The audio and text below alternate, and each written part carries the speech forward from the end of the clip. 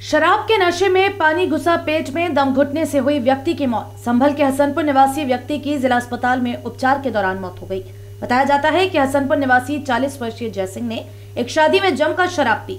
नशे में वे एक पानी की टंकी के पास गया और गिर पड़ा, जिससे पानी की टंकी टूट गई और नीचे गिर पड़े जयसिंह के मुँह तक पानी आ गया। जिससे उसका दम घुट गया, लोगों की मदद से उसे उपचार के लिए जिला अस्पताल लाया गया, जहाँ डॉक्टर परवीन को स्पेशल कॉल कर बुलाया गया। डॉक्टर ने जाँच कर मरीज़ की हालत गंभीर देखते हुए हायर सेंटर रेफर किए जाने की सलाह दी और सुबह जयसिंह की मौत हो गई। जिला अस्पताल में मौजूद मृतक का बेटा देवेंद्र, पिता के शव को अपनी सुपुर्दगी में ले गया है। जी, जिला अस्पताल संभल से एक मरीज़ को भेजा गया है यहाँ पर। मरीज़ किसी विवाह उत्सव में उसने अधिक शराब पी। उसके बाद जहाँ पर रहने का इंतज़ाम था, वहाँ पर पानी के नल पर गया।